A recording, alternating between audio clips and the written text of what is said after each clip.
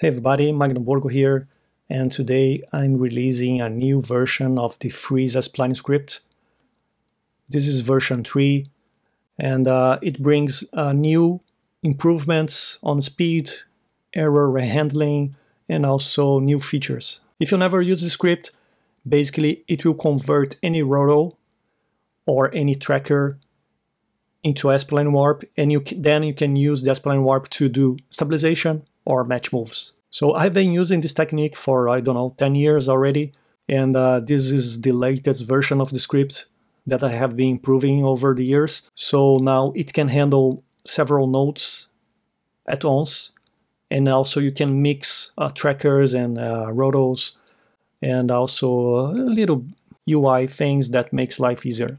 So for example, here, here I did this roto on the nose of this dog, which is something, you know, kind of organic. There's some deformation, uh, some small movements. Also, I did a 3D tracking, so maybe you can use 3D trackers to do some stabilization or, you know, you can use this. So to start, you need to select uh, the nodes that you want to convert. So here I have this open B-splines and this small detail here on separate roto. So you select all the nodes that you want to convert, run script, and it will convert first to S-spline warp. Use the frame range that you want, and you can break this into pinpoints, which are the each curve individual points. I will convert this to pinpoints just so you can see. So now you can see you have all the points of the curves.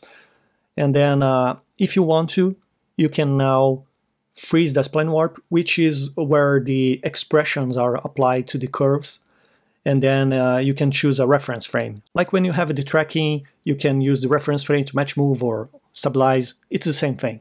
I'm just calling it freeze frame. So here I will freeze frame from the frame one and do the stabilization. So now I have this group of these setups here, uh, which are, you know, this, this is stabilization, this is a match move, and this is a match move. These are the same. You know, all the nodes are the same if you think about it. It's just that the stabilization, you need to use the input B and mix 1 root warp 0.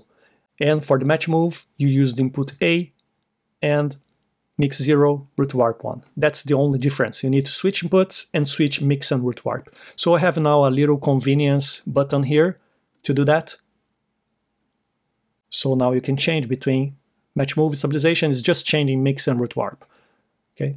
And also you have a convenience button to change the reference frame to this frame, but you can change this at any time here. If you want, you can type, type the freeze frame. And uh, basically that's it. That's your uh, conversion process. You can also select trackers now and convert trackers. It's the same thing.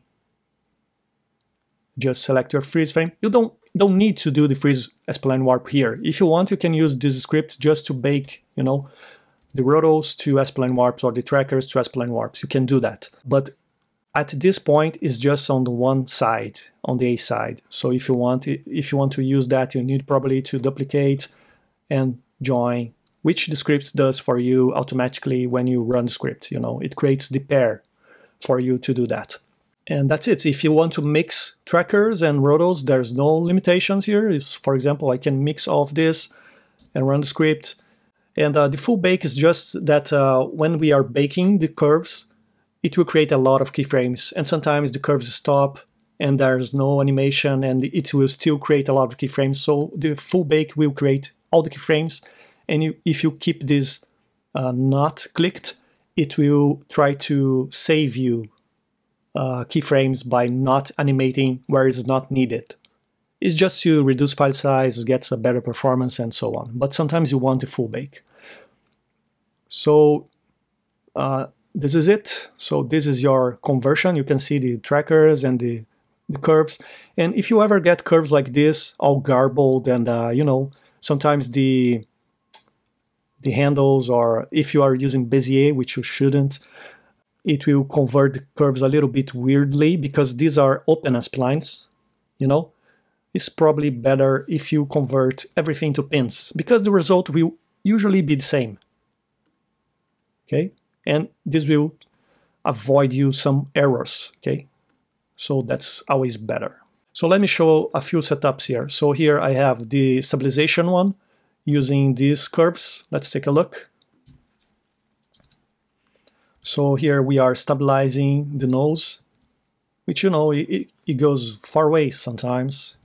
It's uh, by the end of the shot, it's uh, really over there, you know, but now it's stabilized using all these points. So you get some really nice organic stabilization using any number of points, which is really nice. And then I did a little painting here, just a clone on this spot and a paint here.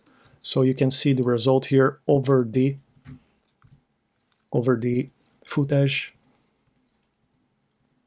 which is really nice and holds really well. And then you have the freeze as spline warp, the frame hold setup, where you freeze a frame, like frame one, it's frozen, you do the painting, you do your roto, and then you, you know, pre-multiply and put on top of your your footage. You get different results, but uh, yeah, you can see it also works, and it's uh, you know just animating that frame, the frozen frame over time, and then uh, you know you usually want you want to pre-multiply this because you get a lot of warping on on the edges of the frame, and usually the region of interest is correct. So you need to do some roto here. You cannot usually put this back on top of your plate. Even stabilization, you need to, is usually better if you crop, and you should always crop your S-spline warps because it's very heavy to run.